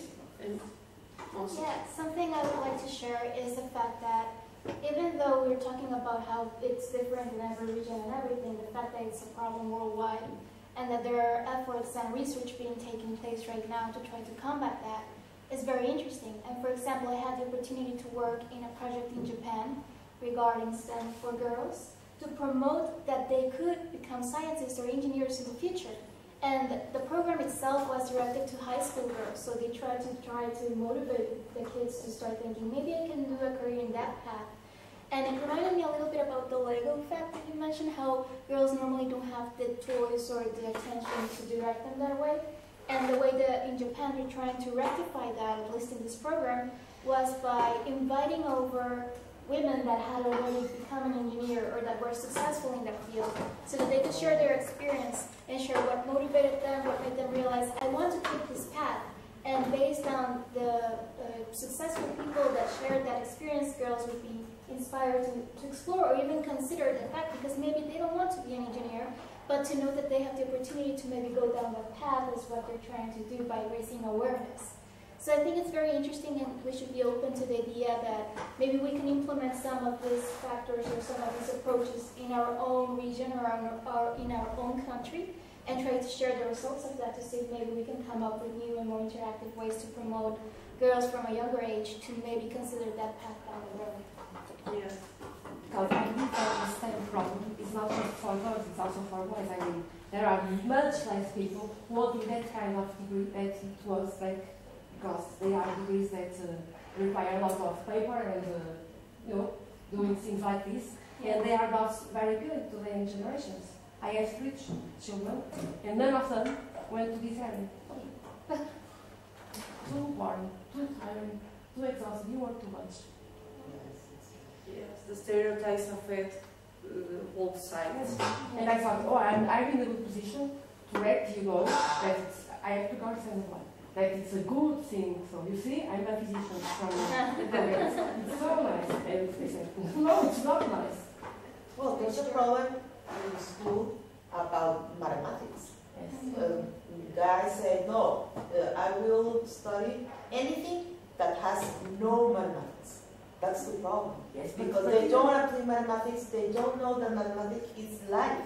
And then they say, no, no, no, it's boring, I don't understand, I can do it, uh, and I will not achieve that, and so goodbye. But at least in Portugal, if you want to go to the economics area, you must have mathematics too. And it's same as. And lots of people go to economics or management, and they have mathematics. They don't have the physics, okay? It's bad, just one, not two. But they go to that area, but the two. And sometimes, as the, I, I am at the Polytechnic School, School of Engineering in Porto, and my students, when they arrive, I, I am a teacher of uh, especially first year physics courses. And they go there and say, oh, it's too much physics. And I say, what can you expect? You are an engineer. Oh, it's too much physics and mathematics. Even for them. In, in, in in Argentina, um, is, is traditionally that, uh, for example, in chemistry, the women uh, study uh, teachers in chemistry, and the men study engineering in, in chemistry, because uh, the idea is the woman uh, then teaching and the men working in the industry. Y, y, y sigue siendo así. Todo lo discutimos, pero sigue siendo así. Digo, por decirlo en español, que no me sale. Well, uh, I think it's more like a social, cultural problem. Mm, I am sorry, but I'm not okay with the fact about your question about the gap. I'm not okay with the answer that say, for, for example, we need 50%, 30, 50%, or 60%, 40%. Uh-uh. What I mean to say is, uh, what, I mean to say is that to give the opportunity to Yeah. girls and boys to do what they love to do. For example, I'm totally okay with the mathematics, what you said. For, for example, if a boy wants to wear so much mm, talking about boys, girls, but whatever, that a boy, for example, wants to be a mathematician, but the society, the environment is saying, well, mathematics is difficult maybe in the family. Why mm, doesn't he get his way and the opportunity to study this? So this is what, but mm, this is what I mean to, to say. But to get to, to have a number, well. Yes, but sometimes you need to measure. Some, yeah, yes, the gap, the gap, the gap, what does it say? It says that, well, maybe there is a problem. And then we are Yes. going to, to investigate. Yes. This is what it is meant to, the use, the use of it. But just to say 50, 50. Yes, and, and also there are a lot of indicators. There is, uh, I don't remember, I think the World Economic Forum, but I'm not sure, that prepare a list of the gender gap in the, equality of women and men in the different countries. There is a, there is a study with a ranking, and there are a lot of indicators to, to check. It's not, yes, not only the percentage, but also politics, um, a lot of things that influence in, in the situation of women and men in any context. And you can translate this to any other characteristics of a person. And also when I talk about men and women, I also talk about all the genders. Okay? Because there are a lot of genders. I don't remember the number, but About 16, according to the American Psychological Association. Mm-hmm. 16 different genders. How many? 16. 16. A lot. 16? I think more. Well, according to the American Psychological Association, 16. 16. Okay, okay. According to APA? I know her. Just 16. 16. Yes. I think. And I want to ask you something because uh, I am in a project and we have a discussion about gender in a questionnaire. How do you say in your country when you want to answer uh, ask about gender? In Spain we use female, femenino, male, masculino o hombre, and non-binary, no binary. Because binary is female and male, and non-binary is other things. and also prefer not respond. I prefer no, prefiero no responder. Do you use non-binary in your countries or gender queer or something like that? Others for Others. Non-binary uh, is beginning in Argentina. It's beginning in Argentina. Yes. Okay. Uh, non-binary and I prefer not. Not to answer. But in the other countries that start to use these things, mm-hmm. other. Okay. Okay, thank you. Sometimes it's difficult because it's a translation thing, but it's not a translation thing. It's a cultural thing. I don't remember if we talk about this here or in other session, but the translation is not only trans. Yesterday's. I had the same problem because Yes. my bachelors were in Brazil and Argentina. I thought Brazil, okay, I'm Portuguese, mhm. I translate them. And then someone there retranslates. Yes. Sometimes because what I was asking, they were not. Translation is, is, is not only translation, it's also cultural adaptation. So take care with this when you carry out your studies in different countries. Although they speak, speak the same language, because in Brazil you speak Portuguese, but it's uh, different context. So Depending in, in the questionnaire questions, is sex or gender. Yes, but here in Spain is starting to talk about biological sex and gender as the same. Because there are, I'm not expert, but I was with a medical, with an expert in It's health. not the same.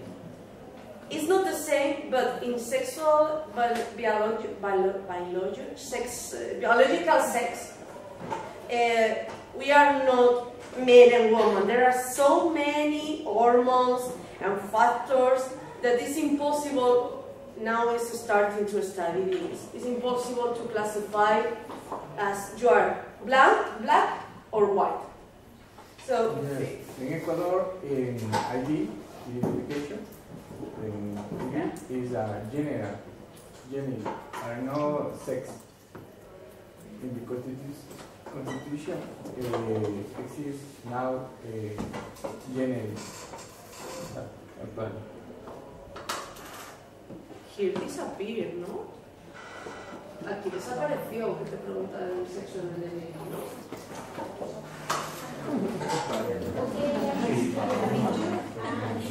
Ah, no, sex. Yes, we have two things. So, thank you very much for this discussion. We will continue after the, the lunch. Lunch. Ah, bueno, ah, después de comer. We will continue after. Please come because uh, this part will be for doctoral students because we will have peer mentoring. So I will organize you in peers and you